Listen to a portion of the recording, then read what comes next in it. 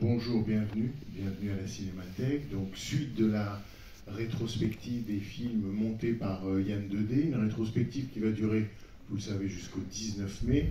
Et je vous incite tout le mois de mai, pas seulement maintenant, mais tout le mois de mai et au-delà, à aller aussi sur le site de la Cinémathèque et plus encore sur la plateforme de la Cinémathèque qui s'appelle Henri.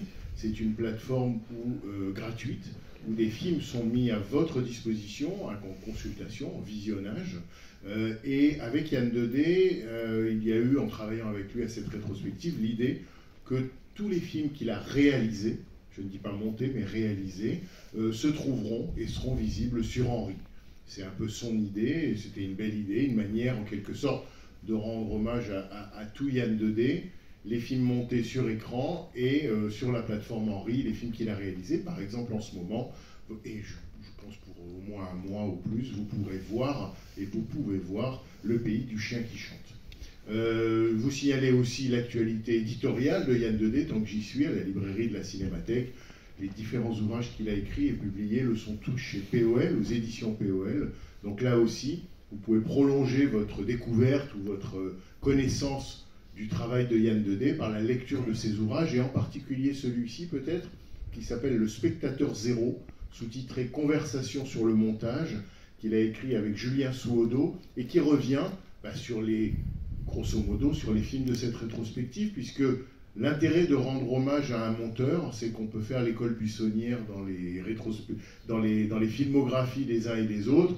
L'école buissonnière, en l'occurrence, euh, on va piocher dans, l'œuvre de Maurice Pialat, ou de François Truffaut, ou de Jean-François Stévenin, et là, cet après-midi, euh, dans l'œuvre de Manuel Poirier puisqu'on va voir Western, le quatrième long métrage pour le cinéma de Manuel Poirier. Voilà, tout de suite et sans plus attendre, eh bien, je les accueille puisqu'ils sont là tous les deux, et je vous demande d'accueillir euh, Manuel Poirier et Yann Dedé.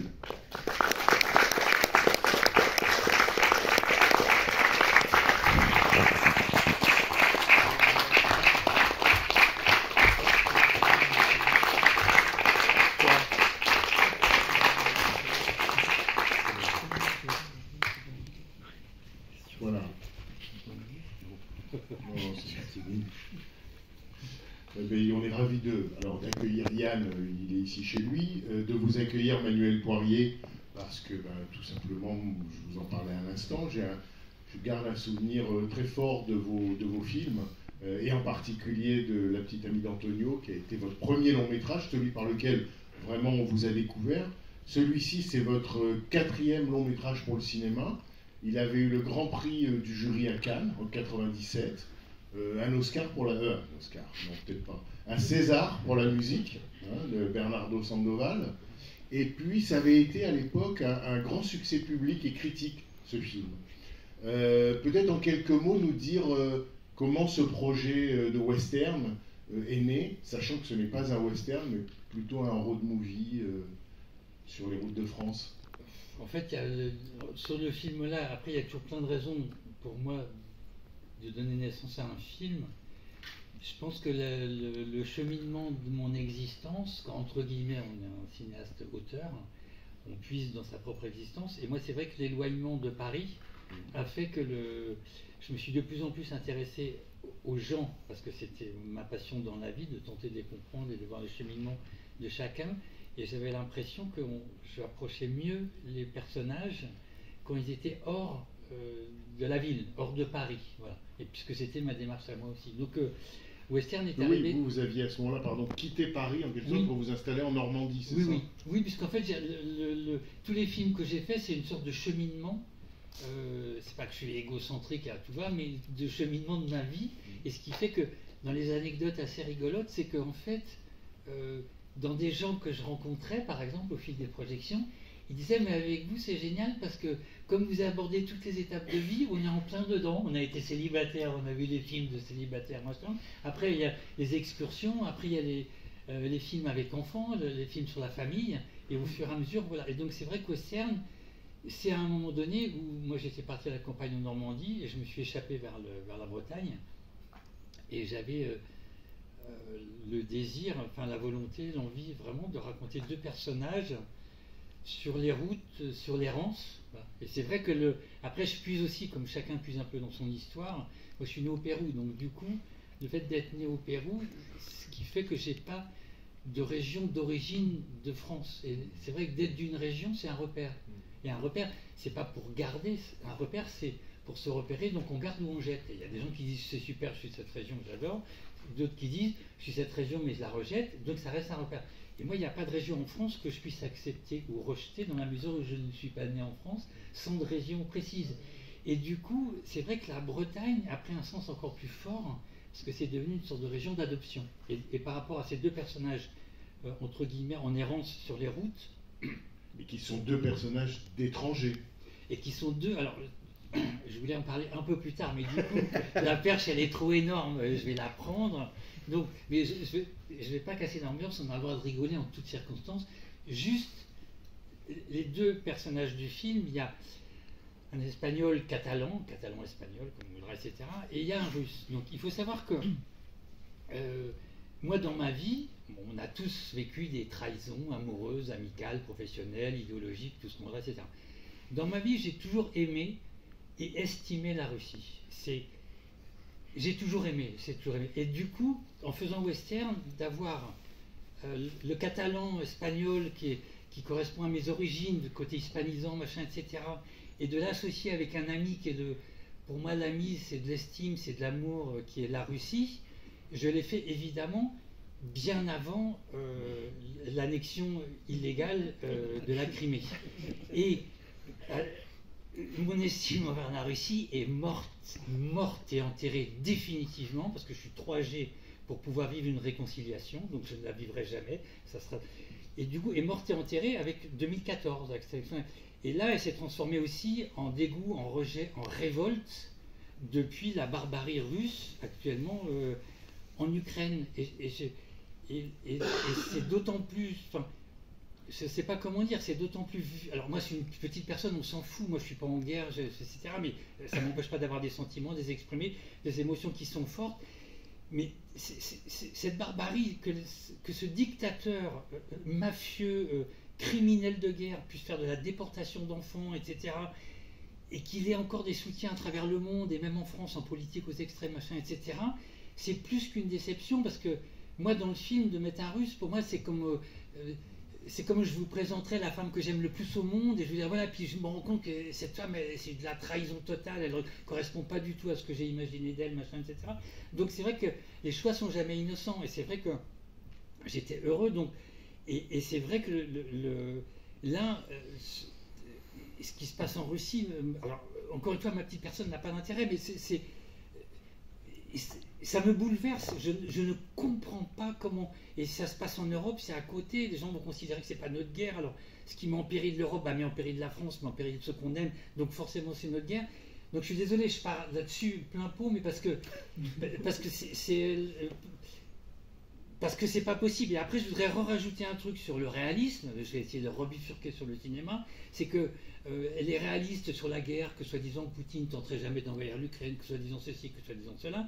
Moi, les réalistes, toute ma vie, m'ont expliqué que je ferais jamais de film. Voilà, donc euh, ça, c'est le réalisme des points de vue. Donc il y a eu le réalisme par rapport à, l'Ukraine. Donc voilà, donc ce qui fait que, alors après, euh, ça n'empêche pas de, rigoler, parce qu'il s'agit d'abord de deux personnages, de deux individualités que le hasard aurait pu faire que le, copain du catalan. Le catalan, c'était clairement défini, c'était Sergi Lopez, avait, ça faisait partie du parcours. Mais après, pour lui trouver un compagnon de route, j'avais hésité à un moment avec un italien, ça faisait un peu trop similaire euh, au catalan. Et puis j'avais hésité avec un polonais, j'aimais beaucoup. Donc quand vous allez voir le film, vous verrez un russe, mais ça pourrait être un ukrainien, c'est déjà plus un ukrainien. et marrez-vous avec le russe comme vous pourriez rigoler avec un ukrainien, et voilà quoi. Euh, voilà. Je suis obligé de le dire parce qu'il n'y ait pas de, de confusion. N'ai aucune complaisance, j'ai même un rejet. Le film est de 97, hein. donc euh, ça, ça, milite en votre faveur. Hein. Voilà. Donc, euh, Mais bon, sinon, voilà, par rapport au film, c'est la rencontre incroyable avec Cannes qui est vachement. Mais voilà, c'est ça. On avait fait des films avant ensemble, et c'est sur un chemin. Parce que c'est pas, c'est pas sur ce film-là que vous vous êtes rencontrés. Non, non, non, on s'est rencontrés. Attention, fragile. Hein. Ouais. ouais. Qui était un film que vous avez fait pour la télévision, oui, c'est ça? Pour Arte, absolument. D'accord. Attention fragile. Et après, on a embrayé parce que ça s'est bien passé avec Marion, qui était le film cinéma donc suivant, et puis ensuite, euh, ensuite Western. Mais c'est vrai que c'est le, ce trajet sur les, sur les routes, le, parce que le rapport avec un monteur, quand on fait un film, je parle pour moi parce que je ne peux pas parler pour tout le monde, mais c'est toujours un truc assez délicat parce qu'en fait, moi je suis assez possessif sur le. Donc j'ai pas envie de, Voilà. Donc un monteur il va faire une incursion, etc. Mais en fait, il y a un, endroit où on peut se retrouver, avec quelquefois des tensions dans le montage du film, et où là on s'est vraiment retrouvé avec Yann, c'est que le seul endroit où on puisse vraiment se retrouver, c'est l'intérêt du film. Et quelquefois, l'intérêt du film, c'est pas mon intérêt. Et, quelquefois, l'intérêt du film, c'est pas forcément l'intérêt du monteur. C'est-à-dire qu'un souhait qu'on peut avoir soi peut aller à l'encontre de, du film dans son ensemble. Dans la salle de montage, il y a une troisième personne, c'est le film. Absolument, mm. et qui est la personne centrale.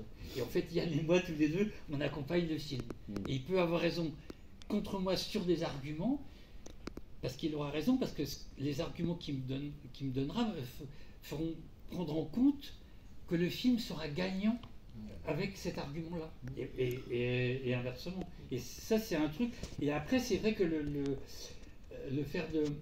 Les deux personnages qui sont en errance comme ça sur les, sur les routes, euh, c'était assez génial parce que nous, en montage, on était aussi en errance avec eux. quoi. D'autant plus, je peux rajouter un truc, Manuel, qu'on avait mis au point depuis le second film, euh, c'est-à-dire le, Marion, que, un truc vraiment que moi j'adore et que j'aimerais faire toujours, c'est que je lis pas le scénario, on commence à la séquence 1, on l'a choisi, on la monte, euh, et puis après, il dit, il se passe quoi après?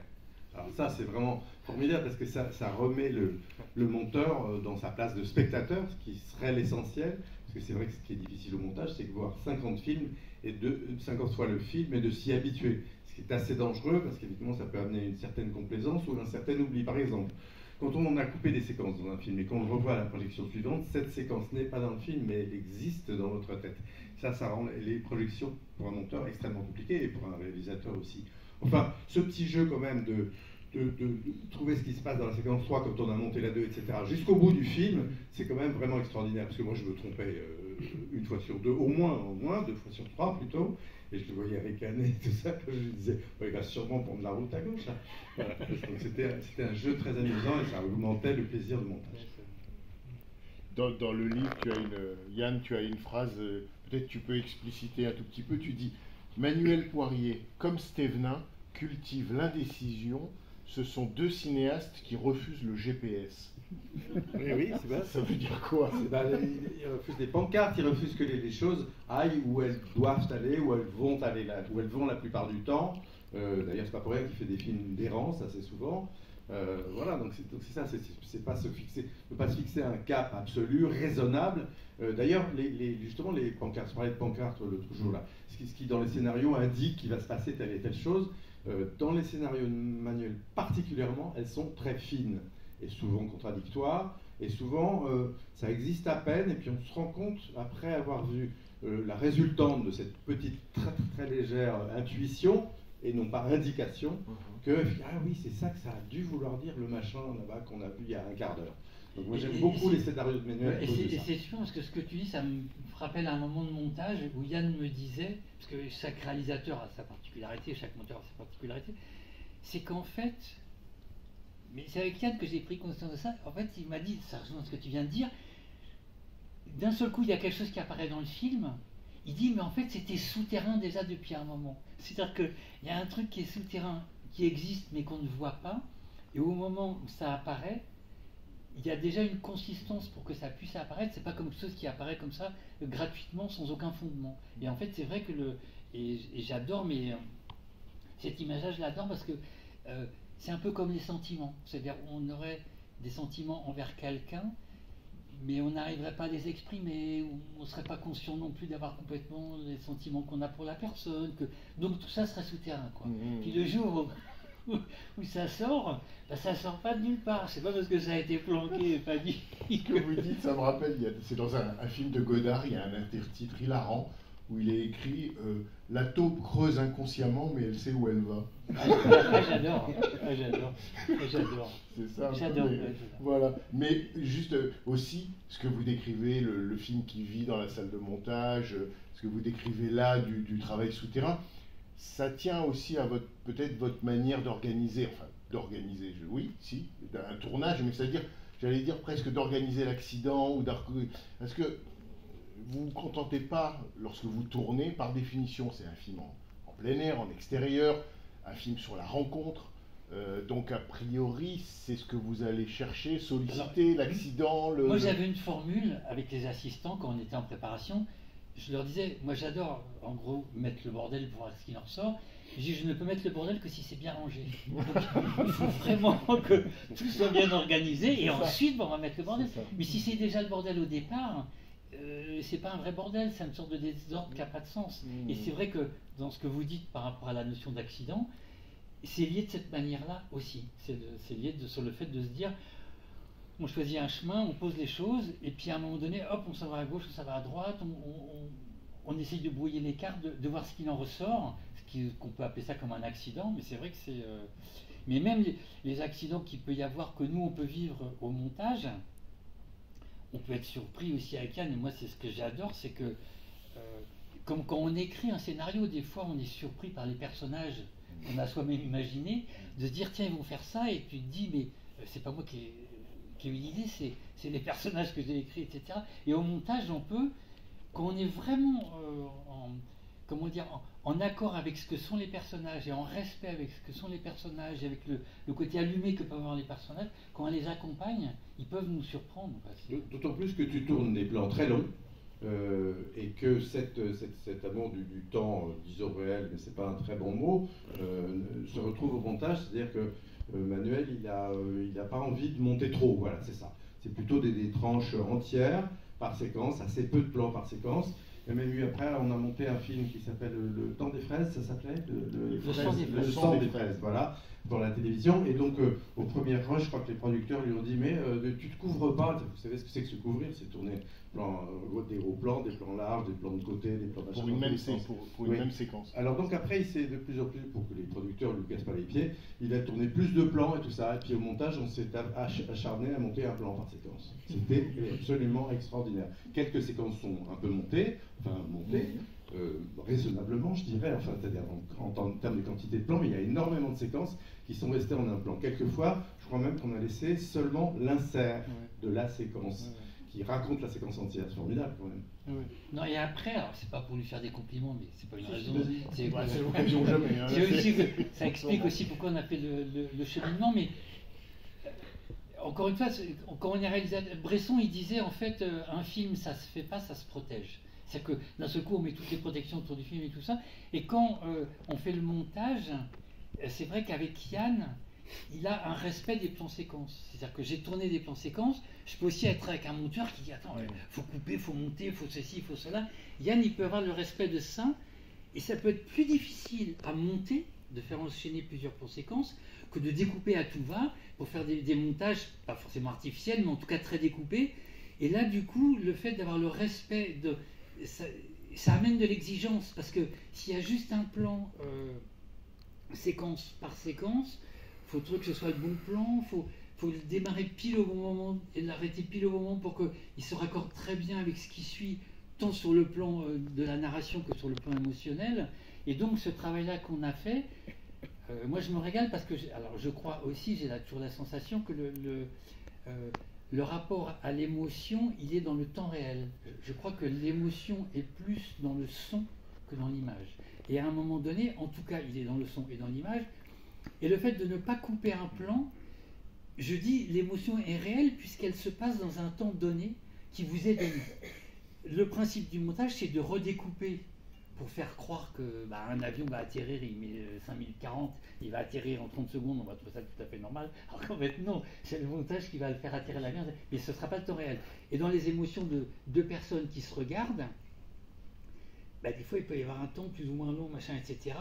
Mais on est dans le vrai rapport des deux personnages, que ce soit des, amis, des amoureux ou ce qu'on voudra, euh, et qui est le, respect de ce temps réel. Moi, c'est le temps réel, c'est un truc auquel je suis très je ne sais pas pourquoi, peut-être qu'il y a une psychanalyse qui se cache derrière, mais auquel je suis très attaché parce que je trouve que c'est le, C'est le lieu de l'émotion. c'est le lieu d'émotion. absolument. Bon, on va s'arrêter provisoirement là, peut-être, peu- peu- parce que le film fait bi- combien il fait Deux heures Deux heures et cinq, quart je crois, deux heures Deux cinq, ah, ouais. oui, J'aurais dit plus. Bon, et ben, Je crois. bonne, merci à tous les deux, vraiment très sincèrement. Merci. Bon. Bonne projection, Bonne grand projection. plaisir. Grand plaisir.